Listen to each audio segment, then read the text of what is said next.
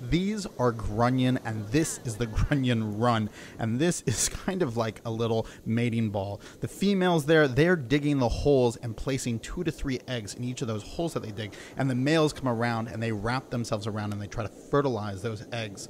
Once that's done, the female will wobble and wiggle her way out in just a moment, and you'll see how she gets out. Just like this and then she'll wait for the next wave to come over and bring her back to the ocean. Here it comes.